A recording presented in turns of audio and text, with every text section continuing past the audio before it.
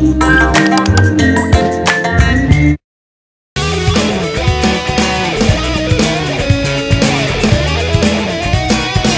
might find your way to Monkey Island.